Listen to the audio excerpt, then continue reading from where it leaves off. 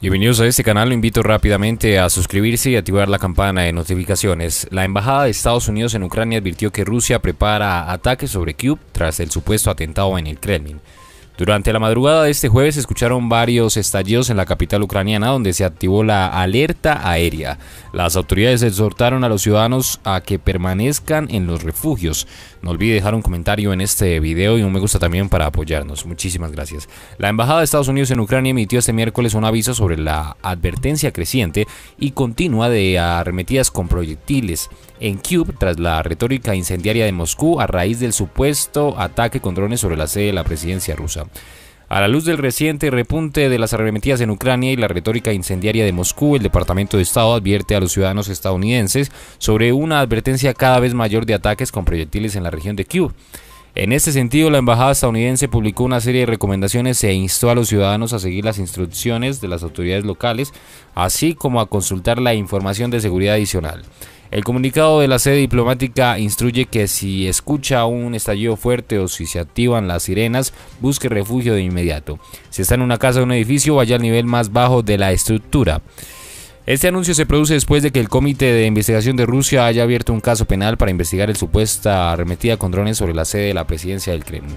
¿Qué opina de esta información? Nuevamente los invito a suscribirse. Vamos con más noticias en este video. Lo invito a que se quede hasta el final de esta noticia. Gracias por estar acá.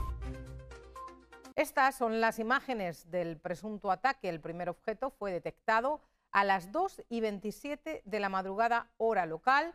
Parece haber chocado contra el domo del Palacio del Senado. El segundo objeto fue registrado minutos después, a las 2 y 43 de la madrugada, y sus restos cayeron en los dominios del Kremlin tras explotar en el aire. La hora de los presuntos ataques fue registrada por un reloj en las cercanías del lugar donde tuvo lugar este incidente. Pero según los medios estatales rusos, el ataque de esta madrugada en el Kremlin no fue el único ataque con drones el registrado en, territorio ruso. El otro incidente habría tenido lugar en un depósito de petróleo cerca de Crimea. Este ataque provocó un incendio en las instalaciones petroleras. En el incidente no se registraron víctimas mortales ni heridos. José Levy tiene un resumen de los últimos acontecimientos en Ucrania.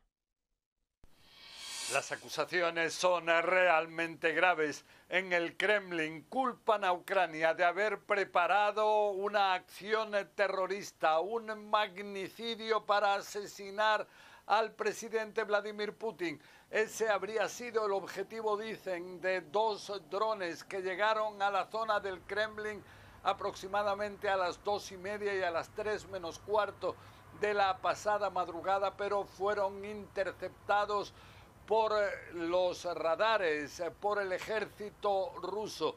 Eso sí, aseguran que esta pasada madrugada no se encontraba Putin durmiendo en el Kremlin. Lo que sí es que estas acusaciones son totalmente rechazadas eh, por el presidente ucraniano Volodymyr Zelensky, quien asegura que para nada Putin es objetivo de sus ataques, tampoco la capital rusa. Según lo que dice él, tienen que utilizar sus armas para expulsar al ejército ruso del interior de su país. Lo que sí es que ahora surge la duda de cuál es el objetivo de un ataque así. ¿Quién pudo estar detrás? Hay quienes dicen que pudo tratarse de una operación rusa de bandera falsa para crear algún tipo de excusa que les eh, permita desviar la atención de ese contraataque anunciado por Ucrania que dicen puede comenzar en cualquier momento para expulsar a Rusia de su país. Pero aquí lo que dicen muchos en Rusia es que la respuesta a un atentado así debiera ser el terminar con la vida de Volodymyr Zelensky. Hay quienes incluso hablan de armas nucleares eh, tácticas, una situación especialmente sensible. De su parte, en Ucrania se niega haber estado detrás de algo así, pero junto a esto hay quienes dicen que un ataque de este tipo habría mostrado la vulnerabilidad de Rusia en un momento como el actual, que Ucrania puede llegar inclusive a la fortaleza más vigilada de toda Rusia. También otra posibilidad es que pudieran ser grupos partisanos los que estaban detrás de algo así, rusos que se oponen a Vladimir Putin. En cualquier caso, se trata de una realidad especialmente sensible y muy, muy peligrosa. José Levi, CNN, Jerusalén. Y para analizar los sucesos en Rusia y sus reclamos de un supuesto ataque dirigido al presidente Vladimir Putin, vamos ahora con Stephen Donahue, experto en inteligencia, seguridad nacional y defensa, que nos acompaña desde Washington. Señor Donahue, quiero empezar con unas declaraciones que acaba de obtener CNN hace escasos minutos. Un ex legislador ruso dice que son los rusos y no Ucrania los que están detrás de estos ataques con drones o con objetos al Kremlin. En una entrevista exclusiva con nuestro corresponsal en Moscú, Matthew Chance, el legislador ruso exiliado Ilya Ponomarev ha dicho, cito textualmente, es uno de los grupos partidistas rusos. No puedo decir más, ya que aún no han reivindicado públicamente su responsabilidad. ¿Quién cree que están detrás de estos ataques sucedidos en el Kremlin esta, esta madrugada? Es muy difícil saber hasta estas alturas eh, porque no tenemos la evidencia y obviamente esto ocurrió dentro del recinto más protegido de Rusia, donde no pueden entrar las diferentes agencias investigativas de, Europa, de los Estados Unidos. Pero eh, lo que dice este eh, ex legislador que está en el exilio eh, puede tener razón. Eh, obviamente hay muchos que se oponen a la manera en la cual el señor Putin gobierna su país y especialmente en la situación que existe ahora cuando se están dando cuenta de el horror que él ha impuesto sobre un país vecino que no eh, sin, sin razón legítima. Entonces, la posibilidad de que hayan rusos que se oponen a su propio gobierno y están dispuestos a tomar los riesgos para atacar a su propio gobierno, una revolución interna, pues eh, es una posibilidad real. Yo creo que esa es una posibilidad. También hay otros, otras partes eh, del gobierno que se están peleando entre ellos, eh, que tal vez deciden que, que, sería útil que el señor Putin desapareciera o se viera eh, más vulnerable con unos ataques en, plena, en pleno medio de, del Kremlin y que eso tal vez desestabilizaría su control sobre el gobierno para tener un cambio de gobierno interno. Así que no sabemos, pero de hecho, quien sea que lo hizo pudo penetrar las defensas del Kremlin en el medio de, de Moscú y aunque las... Uh, unos eh, misiles eh, antiaéreos o algún tipo, sistema antiaéreo logró que no llegaran al blanco preciso en tierra, sino que estallaran en, eh, a, no sé, 100 metros, 50 metros de, antes de caer encima de los edificios, pues eso indica que hay una vulnerabilidad y es avergonzoso seguramente para las Fuerzas Armadas y las Fuerzas de Seguridad rusa que se haya podido penetrar con unas avionetas eh, drones al centro de, poder ruso. De Moscú.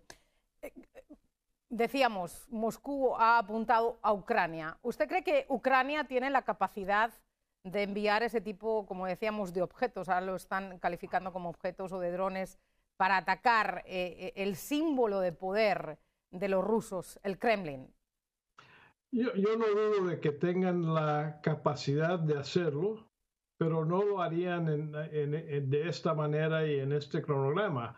Eh, lo que dijo el, presidente ucraniano y también su asesor fue que ¿por qué lo haríamos en este momento y contra ese blanco cuando estamos listos para lanzar una ofensiva contra los rusos en nuestro propio terreno y necesitamos todas las armas posibles para poder tener éxito en lo que estamos por hacer en expulsar a los rusos de nuestro territorio.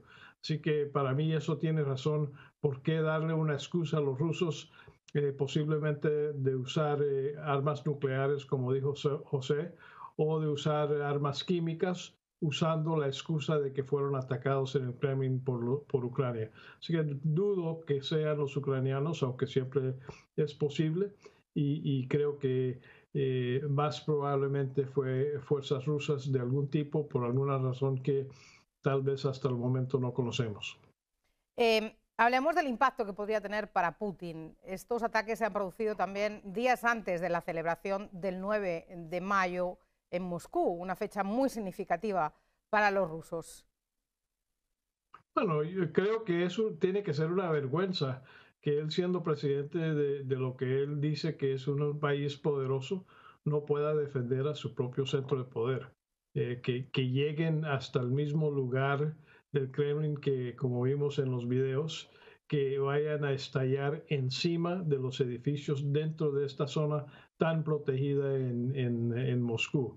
Así que eso obviamente tiene que para él ser una vergüenza, tanto en frente de su propia gente como en frente del mundo. Eh, si el equipo ruso tiene esta debilidad, ¿quién en el mundo va a comprar equipo ruso para defensa aérea? Eh, que es obvio que no funciona, que no da los resultados. Entonces, para a largo plazo, ¿quién va a querer eh, comprar equipo ruso para su país? sabiendo que ni pueden proteger a su, propio, a su propia capital. Pues muchas gracias por estar aquí con nosotros, Stephen Donahue, experto en inteligencia, seguridad nacional y defensa desde Washington. Muy buenas noches. Buenas noches.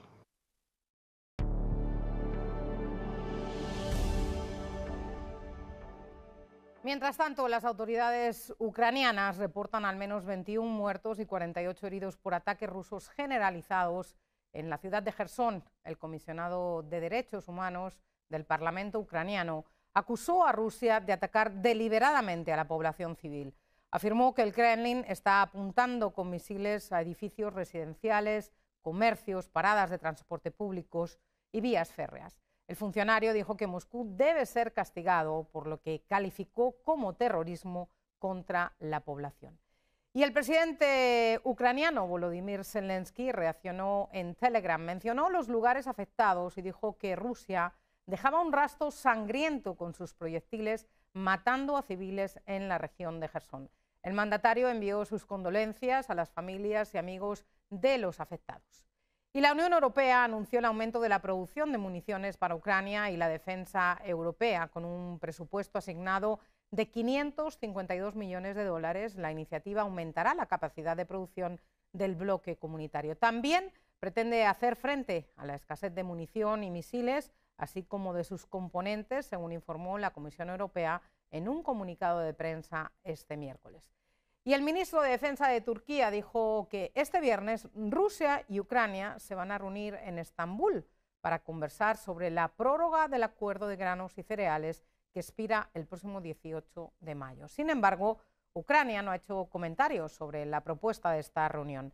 En abril, Rusia amenazó con romper el acuerdo sobre los cereales del Mar Negro si las naciones del G7 prohibían las exportaciones al país.